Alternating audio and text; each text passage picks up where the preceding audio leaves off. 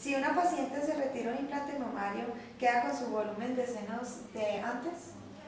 Eh, es importante explicarles a las pacientes que una vez uno ha colocado un implante de estos en el seno, el seno sufre una cantidad de cambios fisiológicos eh, normales, entre comillas, por la colocación de la, de la prótesis.